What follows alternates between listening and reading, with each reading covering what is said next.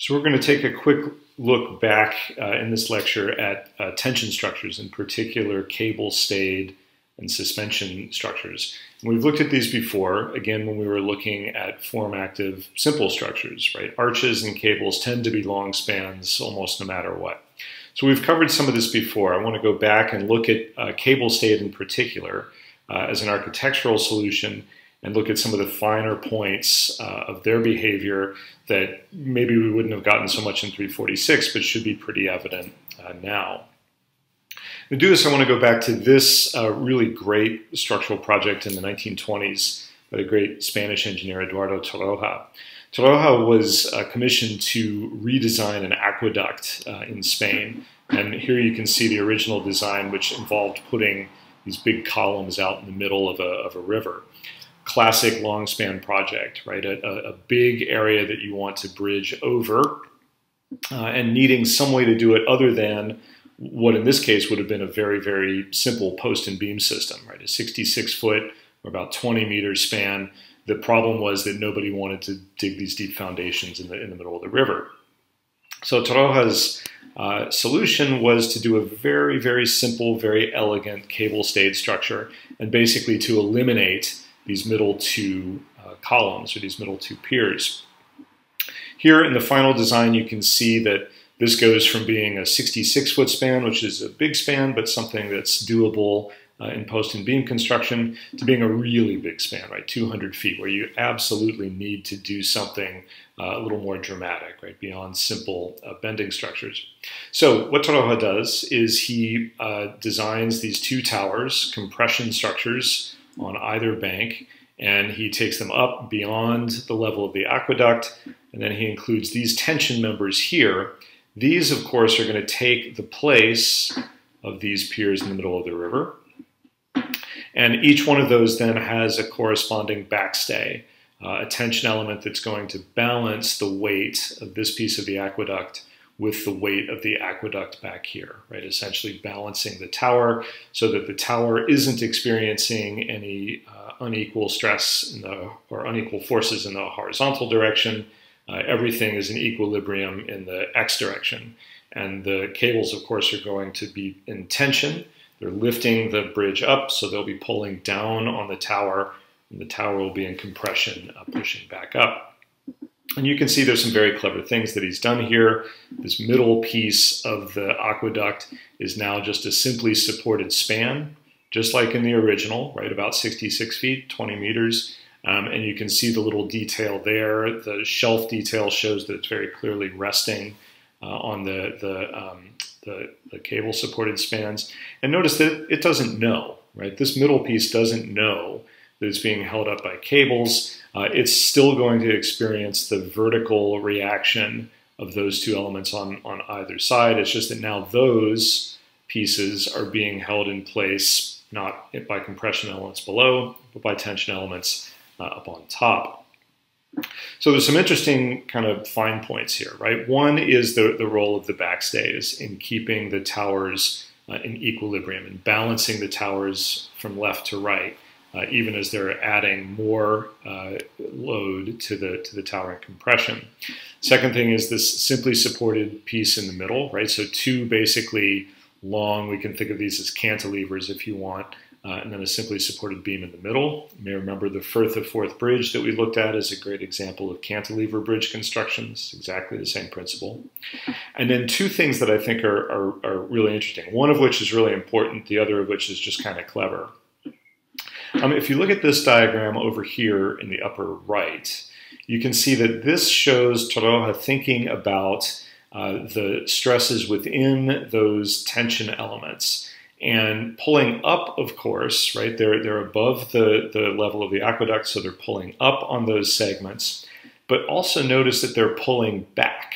And Torroja realizes that the reaction that's going to happen right here and here, where the tension elements join the aqueduct, they're not only going to be uh, lifting the, the aqueduct up or holding it up, they're going to be imparting a very, very significant compressive stress into the aqueduct itself. In other words, they're pulling up, but they're also pulling back.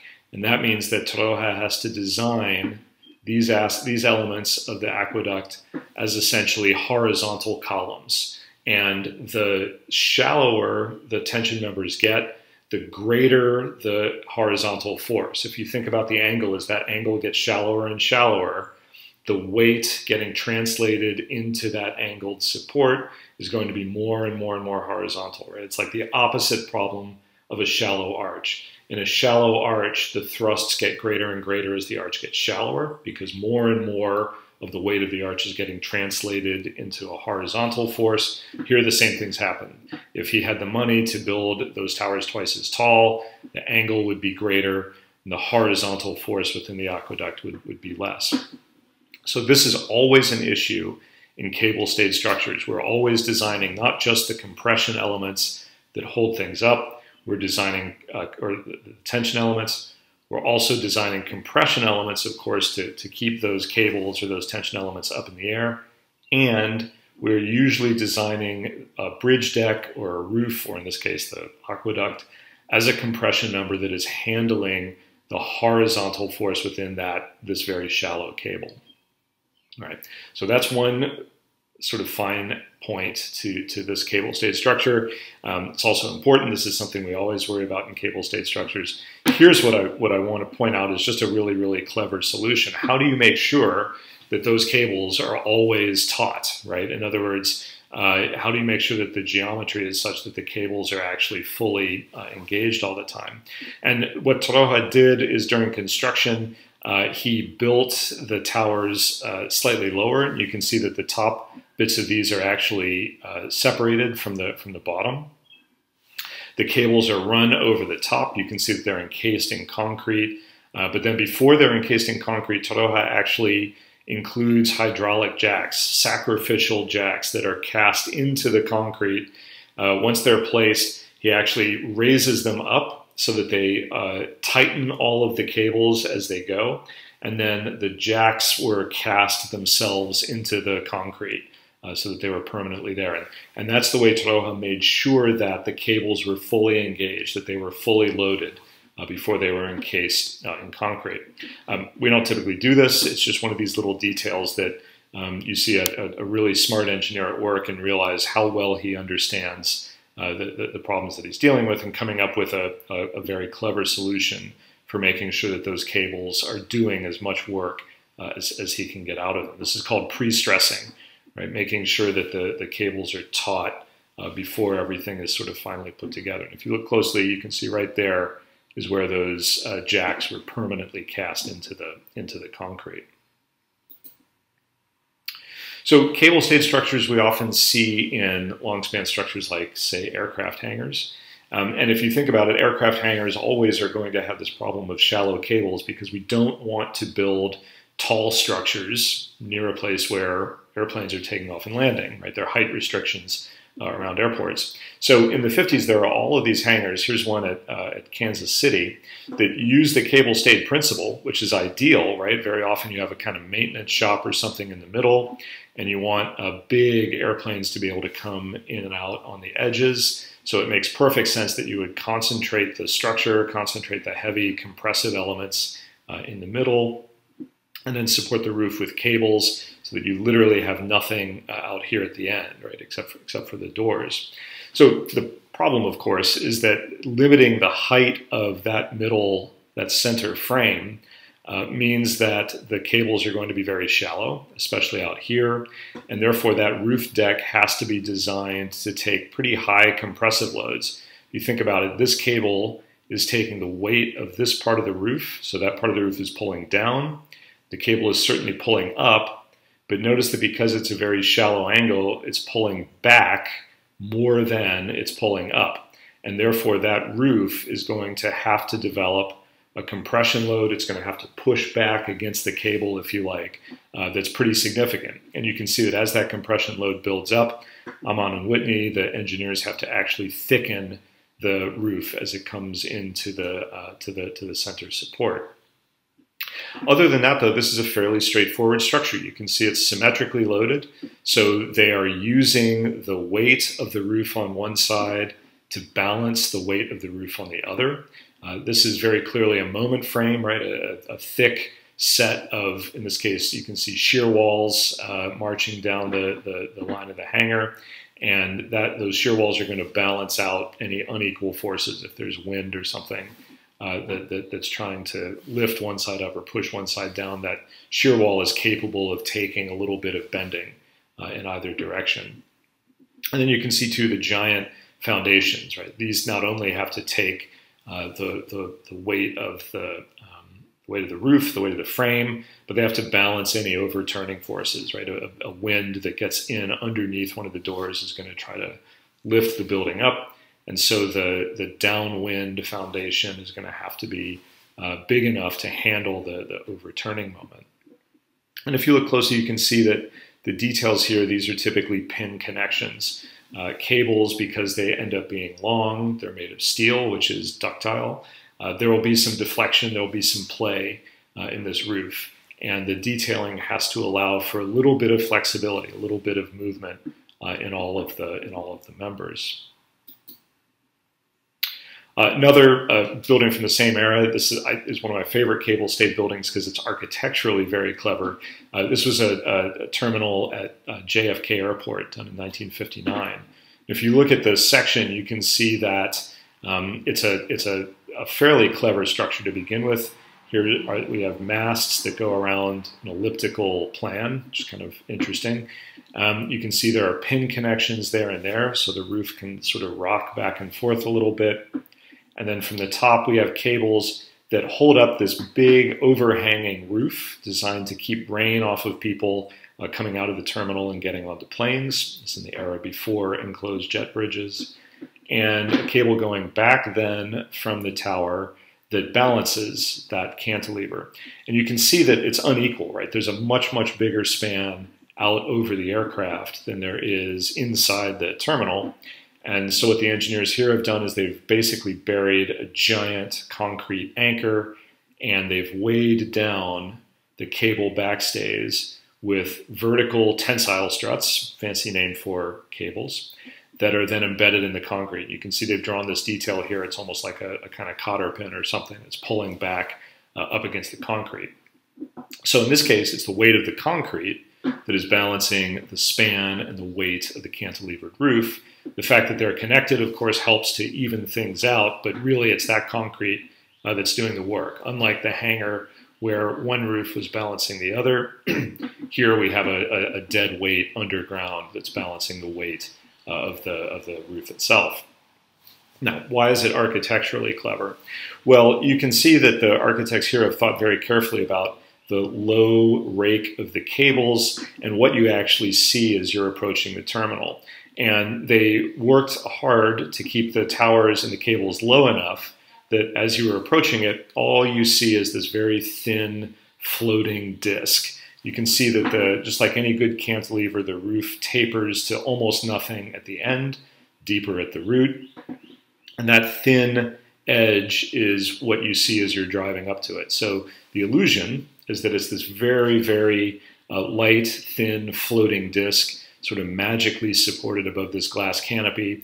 In reality, there are not only these giant masts and cables holding it up, which are kind of hidden, but also hidden, and maybe more to the point, there's a huge, whacking great piece of concrete that's buried underneath the table, uh, underneath the, um, the, the, the, the ground, that's acting basically to hold the, uh, the, the roof down, right, to, to balance out to the edge of the roof as if this were a giant uh, teeter-totter.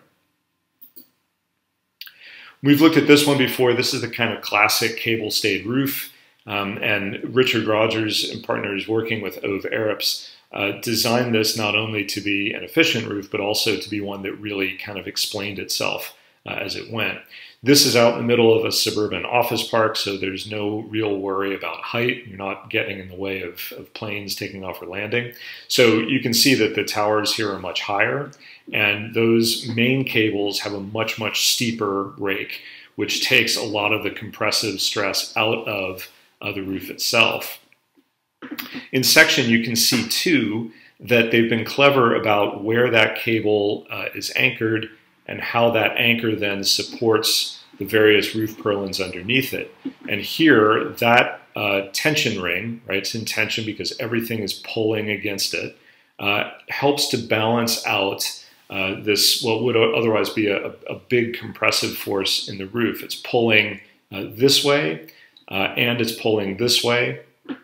So it ends up uh, balancing the, the, the force in this cable versus the force in that cable. roof can be thinner as a result.